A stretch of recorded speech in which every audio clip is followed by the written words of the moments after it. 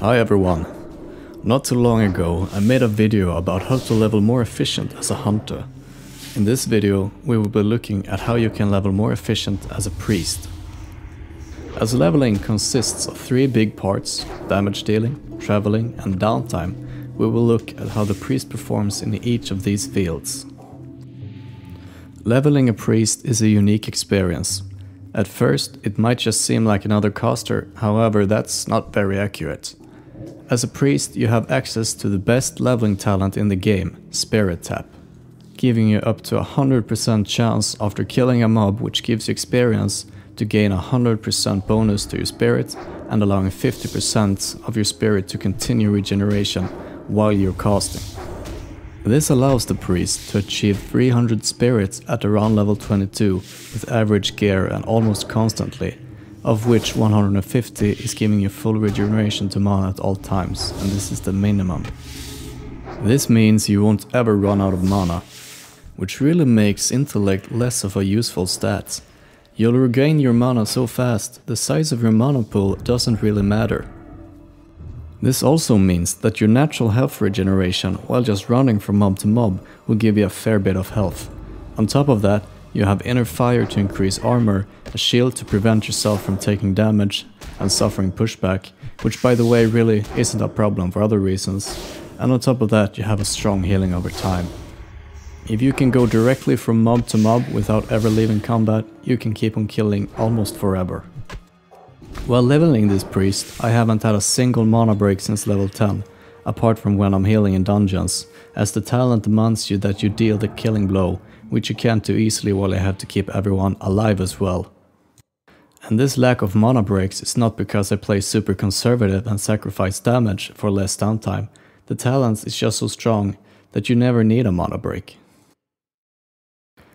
The bulk of your damage should come from wanding, and just as for the hunter, the trick is to weave in auto attacks as well, and using dots on top of that. If you have a strong wand and a weak two-hander, weaving in auto attack, which delays your next wand shot, might mean less DPS. However, doing an auto attack gives you a GCD which you can spend on an instant spell, such as Inner Fire, Renew, Shield, or reapplying dots. This because shooting your wand activates the global cooldown, while auto attack does not. When you start wanding again, there is a short delay, which I think is about half a second before you start shooting again, just like the draw time on a hunter's bow. I suppose that's in the game, so you can't just kite a mob and use auto shoot without standing still.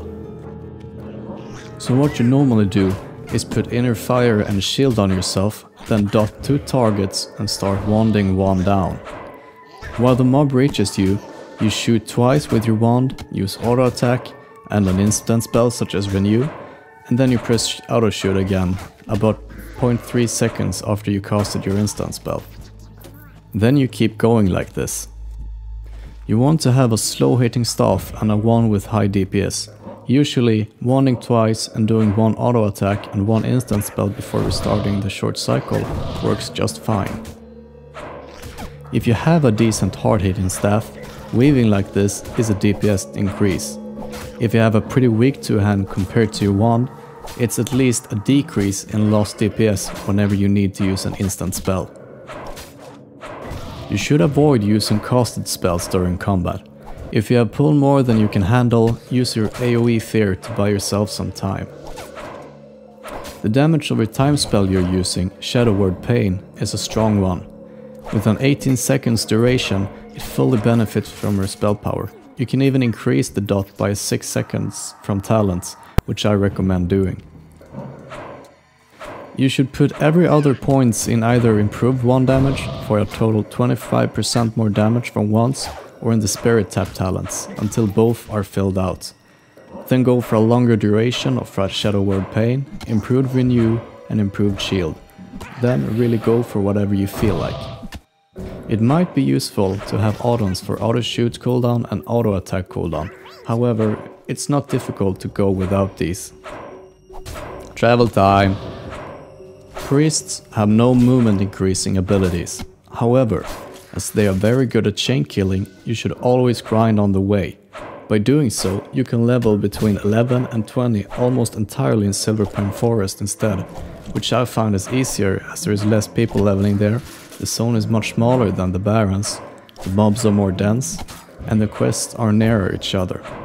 At around 14 or 15, I do some quests in the Barrens to have all the quests for the Wailing Caverns ready whenever it's time to do that dungeon. The fastest I've leveled to 20 was done on a priest. If you manage the chain killing efficiently, know where and how to do the quests and get a good wand, you have the potential to be a killing machine. It took about 12 hours by the way. And speaking of wands, enchanters can make a very strong wand already at level 5, which you absolutely should get. They can make another wand at 13 as well. These two wands are what makes the priest go from good to, well, maybe even the best leveler between 1 and 20. Useful tips. Another very useful tip, which will benefit every single class that needs experience and can use intellect or spirits. At level 18, you can pick up the quest Deathstalkers in Shadowfang from the Sepulchre in Silverpine Forest.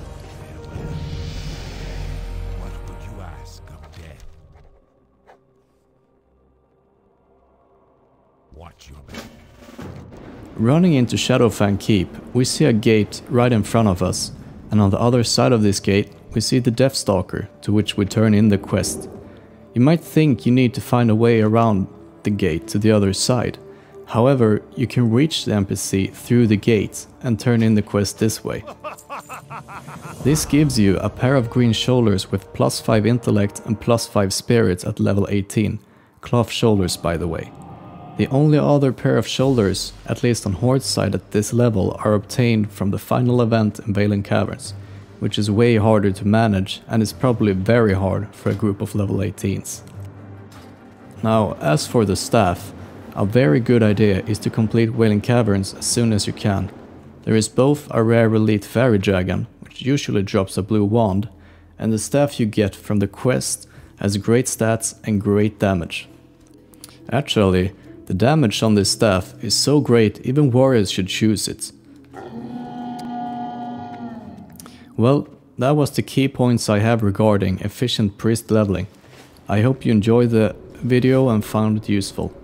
If you have any ideas on how I can improve my videos, or if you want me to cover a special thing, please let me know in the comments below. Thanks for watching.